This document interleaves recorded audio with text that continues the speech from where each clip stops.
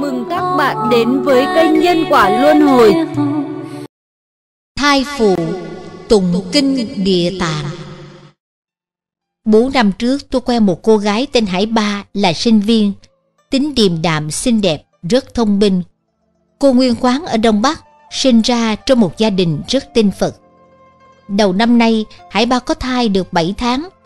Cô kể tôi nghe Đứa con trong bụng cứ trồi đạp tứ tung Làm cô đau đớn.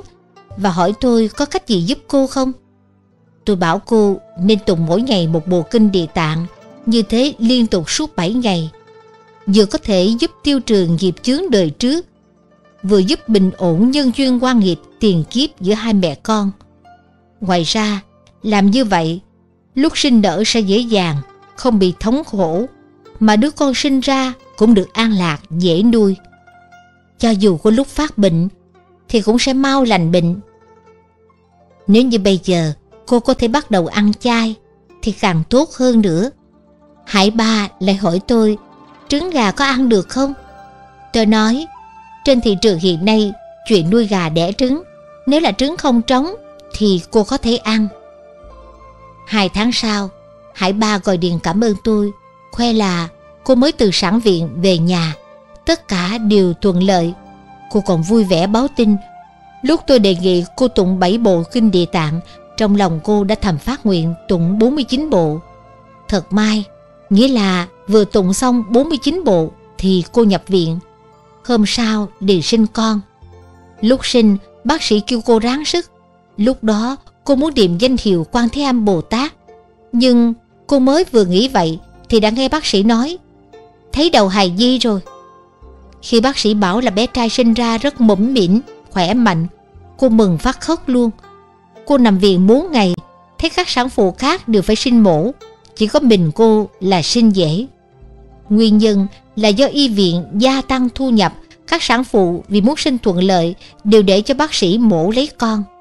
Nhưng ai cũng hiểu, sinh mổ vừa làm tổn thương thân thể lại vừa hao tài. Thực sự là do nghiệp lực chiêu cảm nên thôi. Mười ngày sau, Hải Ba gọi điện tới, kể là hôm xuất viện về nhà, đứa bé không hề khóc dù một chút. Nhưng ba ngày sau thì lại khóc, hiện giờ còn khóc liên tục cả tuần nay. Bú sữa cũng khóc, gì cũng không chịu, bé còn phát sốt nữa, chẳng biết là nguyên nhân gì. Tôi hỏi, cô có ăn thức gì khác hay không? Cô giải thích do mẹ chồng từ quê lên, thấy cô ăn chay không ăn thịt, nên rất tức giận bà khăng khăng bắt cô phải ăn cá trích để tẩm bổ thân thể. Vì vậy, cô phải miễn cưỡng ăn để cho bà vui. Rồi cô than, Mẹ chồng còn đòi giết gà mái hầm cho tôi ăn nữa. Tôi phải làm sao bây giờ? Tôi bảo, Cháu bé sở dĩ khóc lóc ầm ĩ là do từ lúc cô tụng cho nó 49 bộ kinh địa tạng thì nó đã tiêu nghiệp, lại tăng thêm huệ căn cho nên nó không muốn bú sữa có độ mặn. Nếu như cô không có ăn thịt cá, chắc chắn bé sẽ không khóc. Hải ba nói, Mẹ chồng tôi ngày mai sẽ giết gà, vậy phải ứng phó ra sao đây? tôi nói, Để không làm tổn thương tình cảm mẹ chồng, cô có thể nhượng bộ ăn chút gà cá, nhưng tuyệt đối không nên giết sống, mà hãy mua đồ bán sẵn ở ngoài chợ. Dù vậy, bản thân cô hàng ngày đều phải vì gà cá đó trì chú giảng sinh, hồi hướng công đức cho nó, làm giảm đi tâm oán hận vì bị tàn hại giết ăn. Hải ba bèn thương lượng cùng mẹ chồng. Lúc đứa bé bú sữa, nó vẫn khóc, nhưng bú xong thì im lặng ngủ. Hải ba nghĩ thầm, Thằng bé xem ra cũng biết thăm cảm cho tình cảnh khó xử của mẹ nó. Thân mẫu Hải Ba vốn là người ăn chay niệm Phật thuần thành. Mấy ngày sau, bà từ Đông Bắc lên thăm cháu ngoại. Hải Ba kể, thằng bé vừa thấy bà ngoại đã cười, nhưng khi thấy bà nội đồi bồng là nó khóc. Còn bà ngoại đưa tay bồng thì nó không khóc, khiến cho bà nội nó không hiểu tại sao.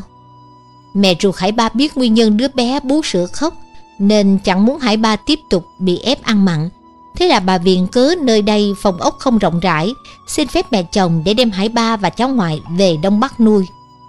Đến nay, nhìn thấy thằng bé lanh lẹ khả ái ngày một lớn khỏe, cả nhà ai cũng mừng. Giải thích Trong kinh Địa Tạng Phẩm thứ sáu Phật dạy Về sau, nơi cõi ta bà này, nếu có người nào mới sinh con trai hay con gái, nội trong 7 ngày, sớm vì đứa trẻ mới sinh ra mà tụng kinh Địa Tạng và niệm danh hiệu của Bồ Tát Địa Tạng đủ một ngàn biến, thì đứa trẻ mới sinh ra đó được thoát khỏi tội đời trước nó từng gây ra và sẽ được an ổn, vui vẻ, dễ nuôi và sống lâu. Còn nếu đứa bé ấy đã có sẵn nhiều phước rồi, thì phúc thọ càng tăng hơn nữa.